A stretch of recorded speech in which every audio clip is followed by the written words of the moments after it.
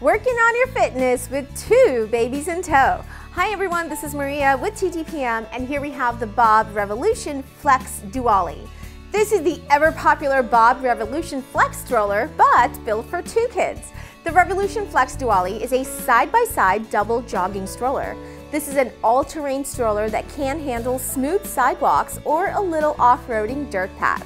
This stroller is infant car seat compatible, so parents can place a car seat on one seat while having an older child on the other.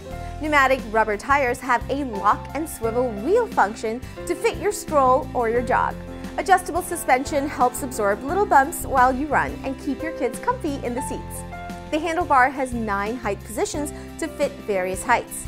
The seat is nice and deep and each independently reclines. A generous canopy for each seat provides 50 plus UPF protection.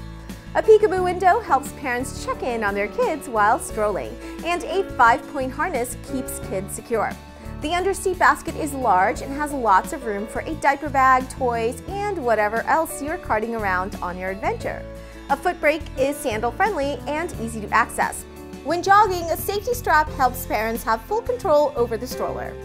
The Revolution Flex Duallie has a two-step fold that is easy to do, but it's not self-locking or self-standing, which means you have to manually lock it into place. Unfolding the stroller is easy.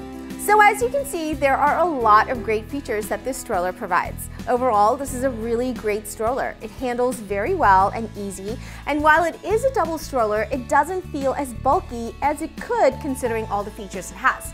This stroller is a little heavy when folded and does take up a bit of room, although it is fairly compact for being a double stroller.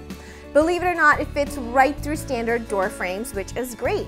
For my 5'5 frame, this stroller does not feel that bulky and I had no problem taking it down the sidewalks of New York City.